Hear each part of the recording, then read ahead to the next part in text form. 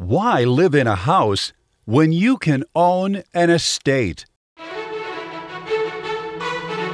The Tony Bachman Group is proud to offer a rare and terrific opportunity to experience the best that prairie living can offer.